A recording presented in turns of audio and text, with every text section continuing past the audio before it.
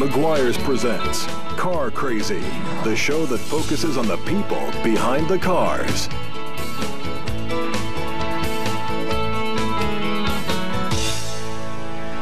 Most kids like to play with cars, but for some, it becomes an obsession.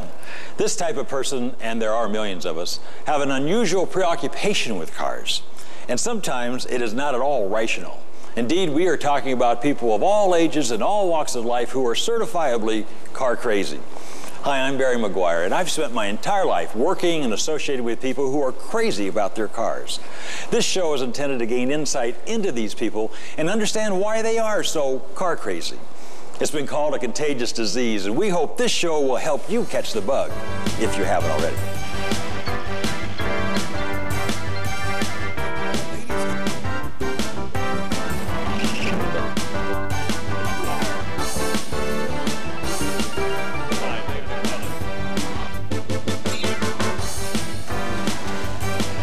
This episode of Car Crazy is one of a very special series of shows.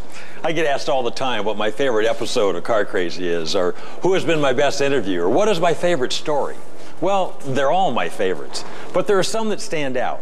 So we selected some of our best stories from our past guests and collected them in this very special series of Car Crazy episodes. Today's guests are four of the greatest racing heroes and champions of all time. They have solely and collectively inspired generations of motorsports enthusiasts. I've enjoyed their friendships through the years. I love their stories. So today's show, we'll revisit the golden age of motor racing with Carroll Shelby, Parnelli Jones, Bob Bondurant, and Dan Gurney. Don't go away. Meguiar's Car Crazy. We'll be right back. Want to show car shine? Oh, yeah. Use Meguiar's Gold Class Car Wax. Smooth as glass. It's the most reflective car wax Meguiar's has ever made. And that's in over a hundred years. Get ready, world. Not only does it give you an incredible shine, it's easy to use. Looking good. It's the best-selling premium car wax in America. Thank you, Meguiar's. Smart guys finish best. Meguiar's.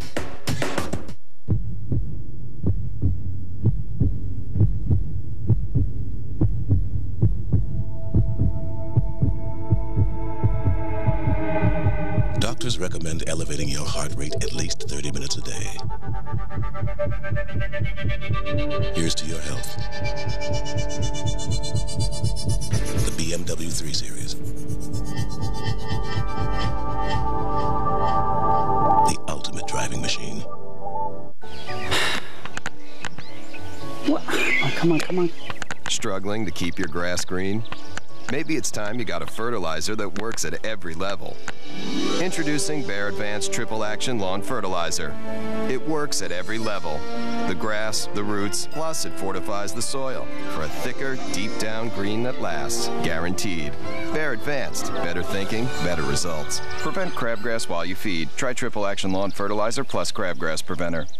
If you want the benefits of refinancing, you have no choice but to stress over a long application, right? Wrong. AmeriQuest Mortgage gives you a choice and a personal loan advisor to handle just about everything. With two decades of experience, AmeriQuest knows how to offer you the no stress home loan. The time is right, so call AmeriQuest now at 1 800 287 1803 or go to urmore.com. Call AmeriQuest, the company that knows you are more. Welcome back to Meguiar's Car Crazy as we visit with some of the most famous race car drivers of all time. There's one name more than any other that intrigues the kid and all of us Shelby. Carroll Shelby. He not only has the rich history in auto racing as a driver, but his Shelby Cobras dominated the tracks of the world. They've inspired songs and the dreams of almost every little boy, and some big ones too. I sat down with Carroll on Cobra Day right here at the Petersen Automotive Museum in Los Angeles to talk about his passion for speed and beautiful cars. Carroll, you're the bigger than life John Wayne personality of this hobby with enormous passion. Can we go back to the beginning and talk about the genesis of that passion? What was the start of it? My father was a rural mail carrier, but when I was three years old, I used to ride with him and I'd say, Go faster, Daddy, let's go faster. And by the time I was five years old, every car that we met on the highway, I could tell you what it was, whether it was a 28 Chevy, whether it was a uh, 28 Model A, or whether it was a Durant, or whether it was a Moon, or whatever it was, I could tell you what it was. And I've always loved cars. I've never lost that passion. Cars and airplanes. And then as you began to grow up, what was the first car that you had attachment for? In Texas, you could get a driver's license when you were 14 years old. And my dad had a uh, 34 model Dodge. And he took me down the day after my 14th birthday and got my driver's license. And the next day, I asked him if I could drive the car. I'd already been driving uh, with him with me. And I asked him if I could take the car out and drive it. He said, sure, son, it's your 14th birthday. I got stopped by the cops and brought home for doing 85 miles an hour, so I didn't drive for a while. My father saw to that. Well, you obviously always had speed in your blood. What was your true first racing experience? Well, my first racing experience was with jalopies and motorcycles back before uh, the war. I went into the Air Force then when I was 18 years, barely 18 years old, and uh, six months later I was in flying training. But as soon as I got out, I got right back into uh, automobiles. 1947, I started trying to build my own car with my friend Ed Wilkins from Dallas and uh, got run out of the house because uh, we were making too much noise at night trying to bang the fenders around. We were trying to put a Hemi in a chassis that Ed had built. One morning I said, all I've ever wanted to do is drive race cars, so why don't I just do it? Let's see if I can make a living. Three years later, I was driving for a factory team in Europe. Uh, but all during that time, I still wanted to build my own car. And as interested as I was in driving race cars, the main thing that I wanted to do was see how the little European companies, Aston Martin, Ferrari, Maserati, how they built their cars and how they operated. Well, as a race driver, you were king of the hill in 1959. What was going on inside Carroll Shelby? The biggest thing that went on inside of Carroll Shelby is that last five laps at Le Mans. I heard more transmission problems. I heard the engine going away on me that last five laps, and finally, I just practically prayed that nothing was happening, that it was all my ears and my imagination, and uh, we won that race. And it's the greatest thing that ever happened to me in racing, probably outside of uh, winning the championship as a driver uh, with Aston Martin and then building my own cars that won the world championship. Yes. That was a big thrill too, Barry. That, what's the best thing about the car hobby? Can you can you capture one thing or a couple things you think that's the, the, what you enjoy most about the car hobby? I enjoy the, the car hobby mostly, Barry, because of the people that are in it. The, the people, the, as you just mentioned, the passion and seeing the passion that these people have for their cars. This this is terribly important to them. This is a very important part of their life. And when you see all of the pressures that society puts on families today and people, for them to have something like this that can take some of that pressure off, I think that it's just fabulous. I think that it really helps a lot of people survive in this uh, society that we live in today. Stay tuned. Car Crazy looks back on more great interviews with some of the fastest men to ever hit a racetrack right after this. A man's got to take care of the things he loves, which makes Meguiar's Rich Leather Wipes a real friend. Nothing moisturizes deeper or conditions and protects leather better.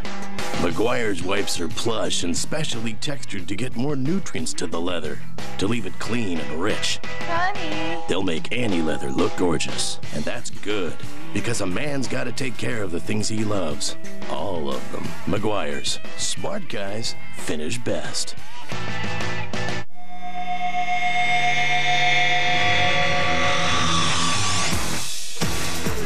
30 SCCA National Road Racing Championships. 219 IMSA victories. And the only Japanese manufacturer ever to win the 24 Hours of Le Mans.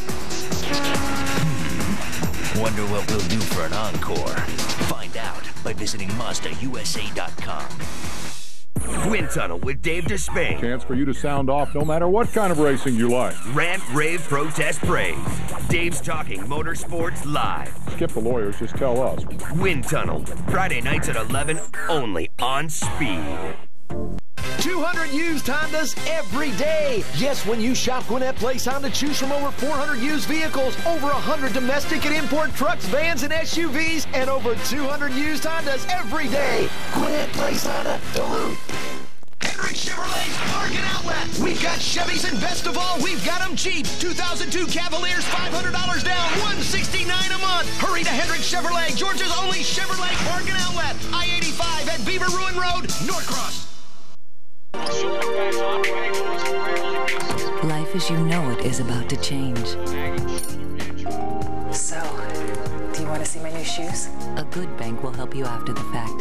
A better bank prepares you for what's ahead. Mortgage solutions match to your needs. Annual updates to ensure your account fits you. Investment guidance that moves as fast as your life. Only from RBC Centura, building a better bank, one customer at a time. Welcome back to Meguiar's Car Crazy. Most people remember their first driving experience, but for a race car driver, remembering the first time they went fast is a memory they could hold on to for a lifetime. Parnelli Jones knew he had a natural talent, but he also knew it took something a little more to become a champion. Let's go to the beginnings of your first attachment to thinking that you'd like to go fast in a car. When I when I turned 16, I got this old hot rod and uh, there was a kind of a quarter of a mile dirt track and it was kind of grown over and had grass on it and everything else. And for some reason or other we started hot lapping this uh, quarter mile track there and sliding the car and everything. And later I used to work in a in a garage so I used to wash parts and stuff like that. And then my cousin took his wife's old 34 Ford and made a uh, jalopy out of it and then he used to let me warm this thing up a little bit, and with all that open exhaust and everything, I mean, I just took the hook, you know. So was there a first time when you're behind the wheel and it, it, it started occurring to you that hey, I I really have some natural ability to do this. I could I could be good at this. Believe it or not, I never, after wrecking my car week after week after week, I had all this desire, but I didn't have the natural talent. I didn't have it. I had this desire and once I was able to conquer my desire a lot, then the talent came. The first time you went to Indy, it was it was it was an unbelievable experience. It was very exciting for me. I mean, uh, that was my desire. Uh, uh, you know, to go to Indianapolis was one thing, but I also had a desire to win. And I was fortunate to lead the race the first year uh, for 27 laps. But you ended up rookie of the year. Yes, yeah. But uh, I, I thought, man, if I could just ever win this race, it would be it. And then winning in 1963, two years later. What was that like? Was, can you, can you go back the emotions you had when you crossed that line? You knew you'd won. It didn't sink in as much then as it did uh, later that night. Uh, I went. I probably didn't get to bed till two or three o'clock in the morning, but anyway, I probably slept for an hour, and I woke up and I ran into the bathroom and I slapped myself in the face and looked in the mirror to make sure I wasn't dreaming. You really did that? It was that thrilling for me. In addition to our interviews, we love to show you the fabulous collections that some of our guests have acquired. And Parnelli Jones has some great treasures in his garage. We have the Johnny Lightning cars. Didn't they win Indy in 70 and 71?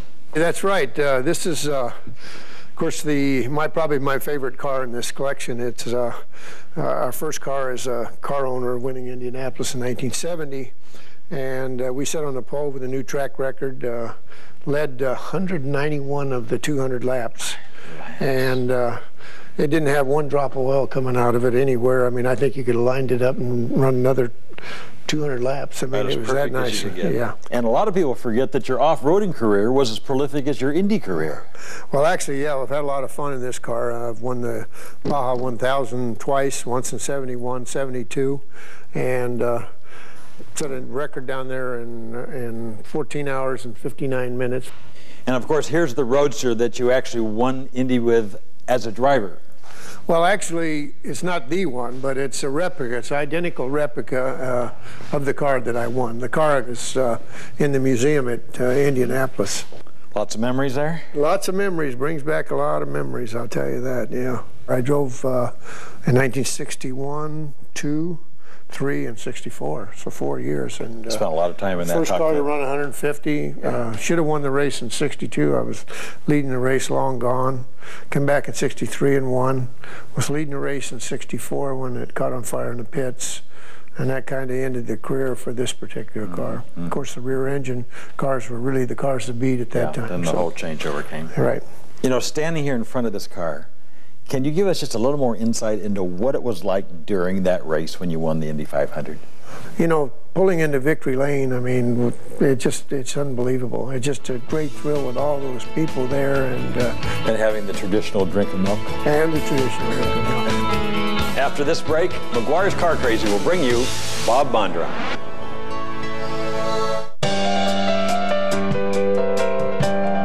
Behind them is a snippy maitre d' and a wilted Caesar. In front of them is a family drama playing itself out. But right now, life is perfect. Thanks to a full moon, a powerful engine, and the Autobahn tested suspension of the Acura RL.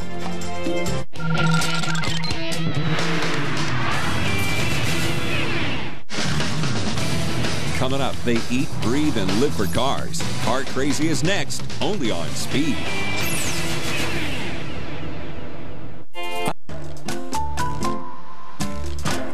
Transmission problems?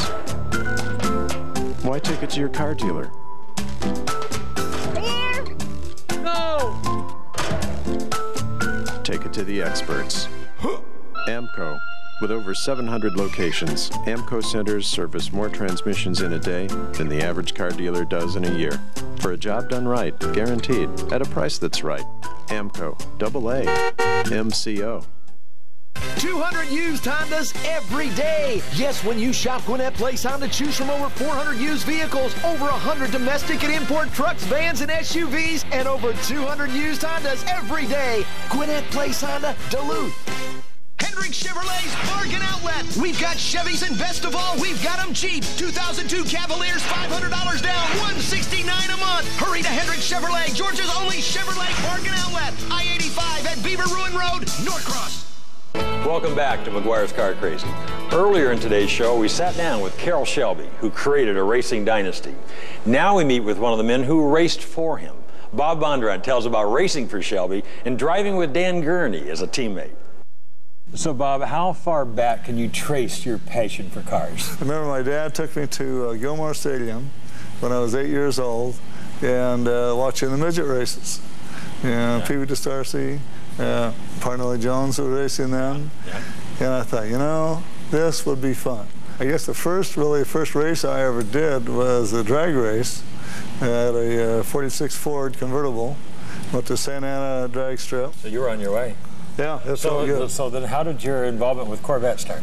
I ran into my my ex-mechanic Don Bechtel, and Don Bechtel said, uh, "I'll work for you for free for every race you win." I mean, that's inspirational Right, great. for a guy that doesn't have any Can't- money. that's an offer you can't I thought, well, I'll try it. And for Don, I won 18 out of 20 races. Yeah, I got an offer from uh, from uh, Shelley Washburn, said that uh, Chevrolet was building four racing Corvettes, the, the Stingray, the first Stingrays that came out. And so I said, yes, I'll come back and do that. That race at Riverside, uh, Billy Krause drove, drove the Cobra against our Corvettes and blew us all off, but he broke a half shaft, so he didn't finish, but the handwriting was on But the you wall. got the- I was the only uh, Stingray that could stay with the Cobras, but I could not beat him. I got a call out there from Carroll. Yeah, I bet. And he said, uh, what are you doing? Oh, yeah. He said, what are you doing such and such a week? And I said, nothing. He said, uh, great. You're driving Ken Miles Cobra. Just like that. Just like that. So this incredible partnership and friendship that you developed with Carroll and enjoyed to this day. I mean, you're Oh, such yeah. great friends, but that is how it all began. I never heard that story. Yeah, that's how it all began. And uh, I won the race. Davey uh, MacDonald was driving the other uh, Cobra. And I went to the uh, Le Mans 24-hour race. And I was fortunate I was teamed, teamed with uh, Dan Gurney. And uh, he had run uh, Le Mans several times, never finished. I said, Dan, do me a big favor. I'll run as quick as I can run smooth. You run as slow as you can run smooth. And I think we have a chance of winning the GT category.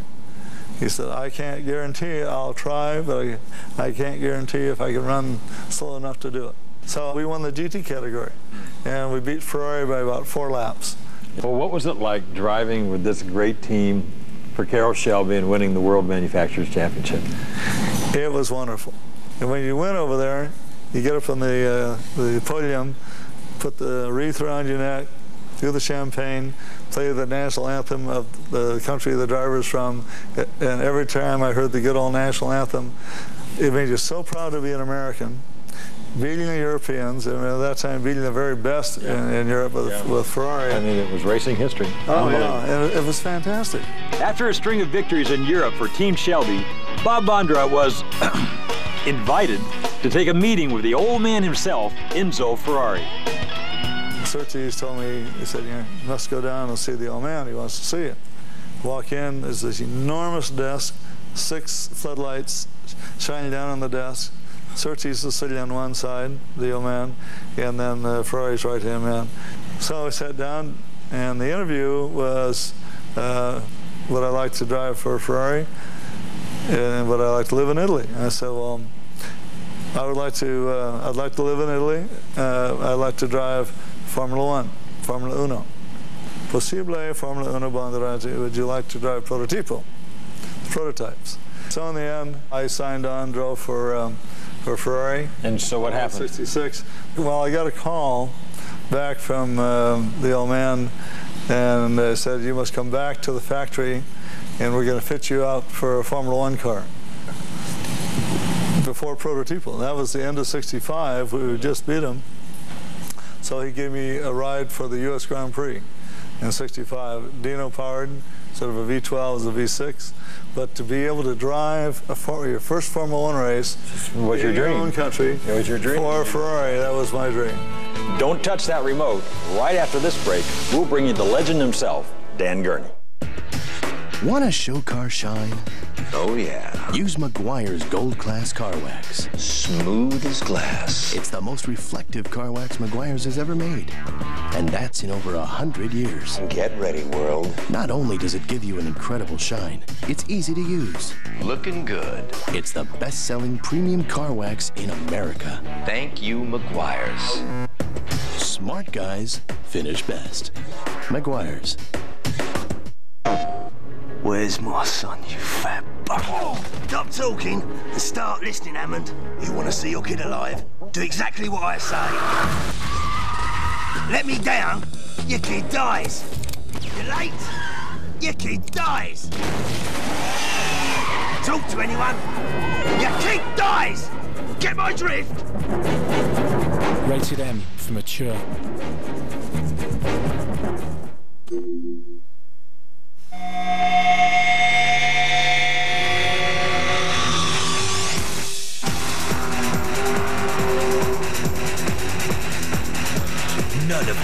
These race cars ever dropped a valve, pulled a piston, or threw a connecting rod. Maybe that's why they've established one of the greatest winning records in racing history. To learn more, visit MazdaUSA.com. Welcome back to Meguiar's Car Crazy. As a driver, Dan Gurney stands out. He has won seven Formula One races, including four World Championship Grand Prix, five NASCAR stock car races, seven IndyCar races, and the four sports car endurance classics. You can bet he had a lot to share with us, but it had to start somewhere, like his first ride in a go-kart. When did your interest in cars, this peculiar interest in cars that you have, first begin? When was the first spark, do you think? Early on, when I was nine years old, my folks bought me uh, an Irish Mail. You remember the things that used to, uh, four-wheelers and uh, you know, a go-kart without a motor, yeah. but you could pump it. and it had, this one, particular one, had a steering wheel, and it had uh, little uh, uh, balloon tires, and there was a, a, sidewalk down there. And, and after a rain uh, near our house, why there would be a, a, really neat mud puddle down there, and you could go through there and get her sideways and cross up. And that, to me, I don't know, that got me going. I felt like I was getting through there pretty well. One of Dan Gurney's most poignant moments was receiving a posthumous compliment from one of his heroes. He had a great uh, uh, competition between you and Jimmy Clark. I know uh, you had so many great races together, and and when we lost him uh, at the funeral, his dad gave you a wonderful compliment. Yes, um, that was. Um, I was maybe uh, undoubtedly the best compliment of my driving career. Uh, didn't want to get it that way. Uh, he, um, when I introduced myself, he was meeting the guests at this wake, and um, he, uh, I said, "Hello, Mr. Clark. Uh, I'm Dan Gurney," and he said, "Oh." Oh, uh, Dan, come in here to this other room, and uh, I want to tell you something. And uh, he said, uh, you know, Jimmy said you were the only one that he ever feared in a race car. And I said, Mr. Clark, uh, Jimmy never feared anyone. And uh, he said, well, yes, he did, because he told me that many times. So um, it's pretty hard for me to talk about yeah. it, even today. Needless to say, Dan Gurney's most memorable moments took place on the track. Some of them were humorous, some victorious. Such a funny story. Here you had been to Europe before, but always with Phil Hill or some other people looking and after you. But now you're 28 years old. You really didn't know that much about Europe, and you're going for an audition at Ferrari. Here are these engineers in Enzo Ferrari with their overcoats and the fedoras, the black and uh, the the hats and the overcoats, and uh, there's a mysterious looking oh, guys. You know, talk about intimidation. Yes, I had asked some advice from the guys in the Albergo Reale was the hotel that we're staying in.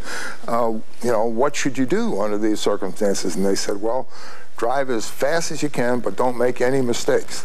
well, you know, thanks a lot. Yeah, and uh, so I progressed from the two liter sports car to the three liter, which was like they were running at Le Mans, and then got in this Formula One car and uh, drove around there. And uh, I didn't know if I did well or not.